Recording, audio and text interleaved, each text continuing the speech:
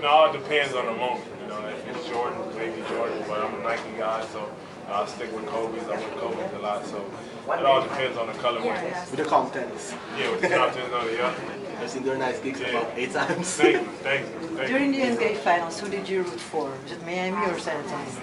Um, honestly, I, I really wasn't rooting for nobody. I just wanted to see a competitive um, playoff series, and it was. You know, it was beautiful to watch the Spurs do the things that they did, and you know, it was it was real entertaining how how together they was, and it was fun to watch. In your mind, did your team won, win? In my mind, my team, no, in, in your mind, uh, without t- telling specifically between Miami and Spurs, did your chosen team win? Uh. I, I, I didn't, it was hard for me to pick a team. It was hard for me to pick a team, honestly. I just wanted to watch and, and see the outcome and everything. Okay.